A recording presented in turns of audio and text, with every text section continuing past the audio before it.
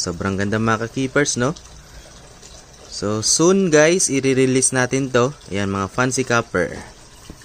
Pero hindi ko ipopost sa Facebook mga ka-keepers. I-video ko lang tapos isi-send natin sa messenger sa mga gustong kumuha. Ayan guys, oh. Yan. What's up guys? So mag-unboxing na naman tayo ng Betta Fish galing ng Davao City. So meron tayong uh, in order na 15 pairs na uh, AOC ng mga betta fish na plakat.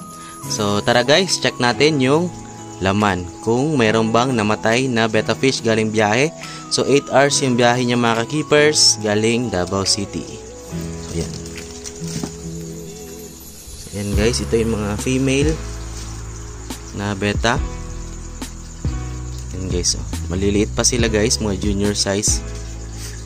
Female.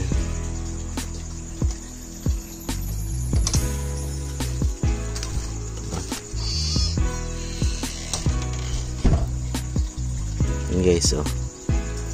Female na FCCP. 15 pairs.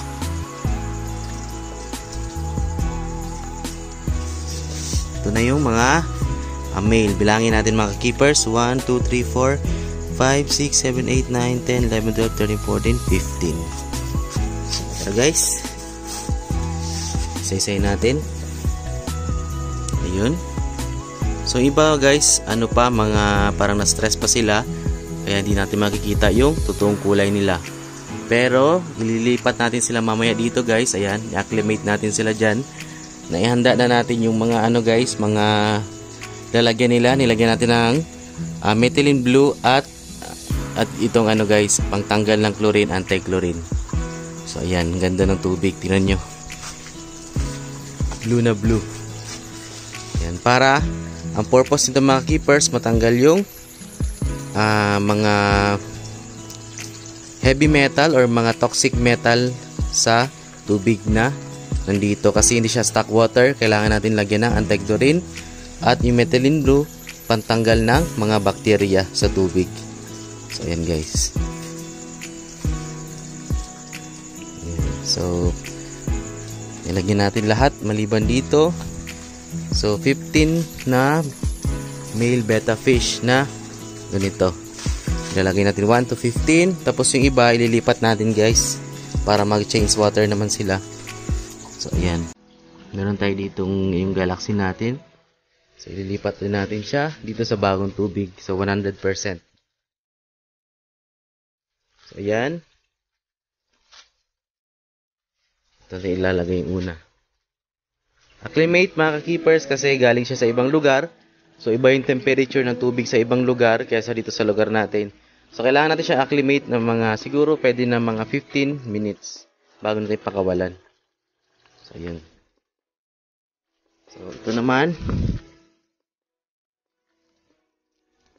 Ayan, white scale.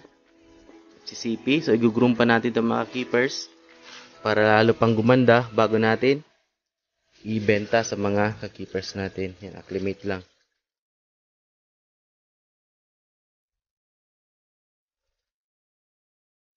Yan guys, oh. Ganda pa ng kulay ng AOC. So, mas maganda kasi mag-groom siya ng mga malaki na para mag-groom na talaga at makita niyo yung totoong form ng mga betta fish na to. Pero pwede naman siya guys, junior size pa lang, pwede niyo nang bilhin. Pero mas maganda i-groom ko muna siguro para lumabas pa yung mga kulay nila.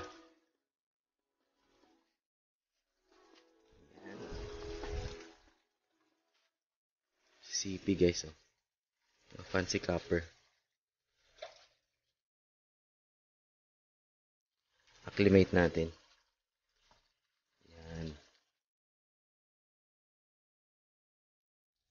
Tapos itong mga female mga keepers, pwede naman siyang community na lang sila.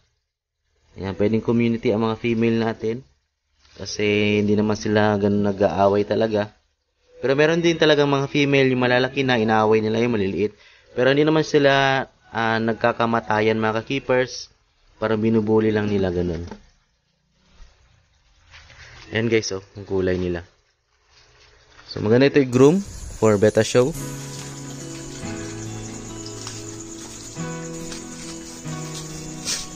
Ito naman.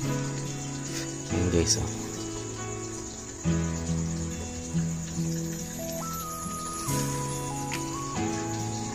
Yan, mga fancy copper.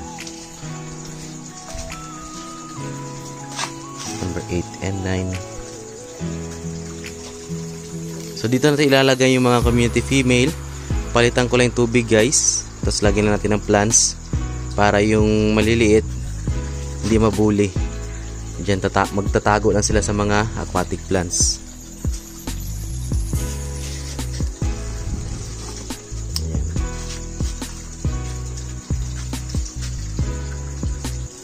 Mississippi.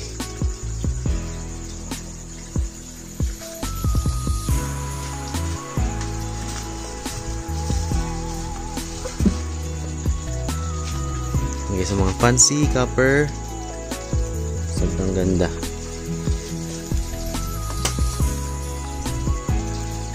Kaya may nahulog pa.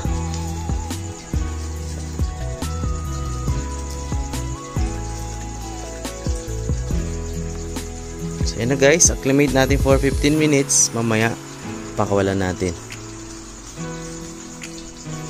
So, may bagong styro naman tayo dito.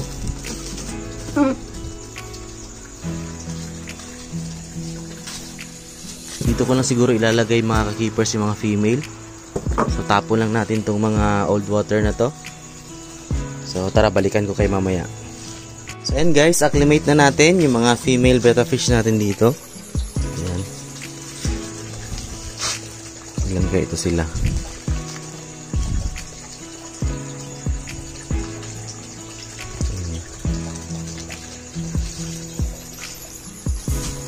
Lagay natin dyan. So, parehas sa mga male beta, mga 15 minutes din mga keepers. The next day. So, ito na mga keepers yung mga female natin na nilagay kagabi. So, ngayong umaga ko lang guys na bitawan. So, hindi ko na bitawan kagabi. Nakatulog na tayo. So, ayan sila mga keepers. Pwede silang ipagsama sa isang lalagyan. Gaya nito. Ito yung mga female na fancy copper. So, nandito naman yung ano guys, yung mga male. So, papakita lang natin mga keepers. Saglit lang. Ayan. So, ito yung mga male na bitawan na natin guys. So, yan yung mga form nila. Ayan. So, sobrang ganda mga keepers no? So, soon guys, i-release natin to. Ayan, mga fancy copper. Pero hindi ko ipopost sa Facebook mga keepers. I-video ko lang tapos isi-send natin sa messenger sa mga gustong kumuha. Ayan guys, oh. Yan. Ang form niya. Sobrang ganda nito mga keepers. Color blue siya guys kasi nilagyan natin ng methylene blue. Ayan. So, ito naman, ang susunod. So, flare lang natin mga keepers. Antayin natin. So, hindi tayo nagpo-post ng ganito sa Facebook, ay sa YouTube guys kasi baka i-report na naman tayo. Ayan guys, oh. Mga fancy copper ang tawag dito. Maganda to siya na materials kay mga keepers at ito sila guys, mga groomable sila. So, maganda yung mga form nito mga keepers. Kaya i-groom ko muna pero pa sa mga gustong kumuha, ayan guys, oh. Ganda ng form. Mga fancy copper.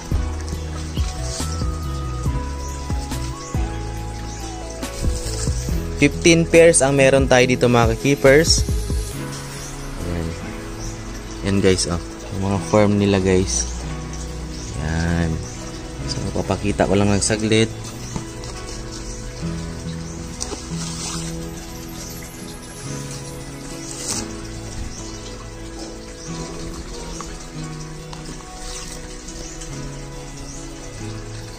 Yan guys. Yan guys, oh. Fancy copper. Yan. Yan pa. Ito pa guys. Oh, nagpi-flare siya sa salamin. kondisyon na kondisyon. So ayan mga keepers, uh, meron tayong 15 pairs na fancy copper. Sa mga gustong kumuha, isesend ko lang yung video guys sa Facebook. So hanapin nyo na lang sa description yung link ng aking Facebook, Messenger, or kung gusto nyo mabilis ma-replyan, sa Viber kayo mag-message sa akin para makita ko kaagad guys. Kasi sa Facebook mga keepers marami nagre-reklamo kasi hindi agad mabasa yung mga chat niyo doon kasi mag-spam message na tayo. So marami nagme-message sa atin guys. So ayan guys yung mga available natin. So ayan guys don't forget to like share comment and subscribe. So see you next time mga keepers fish out. Bye bye guys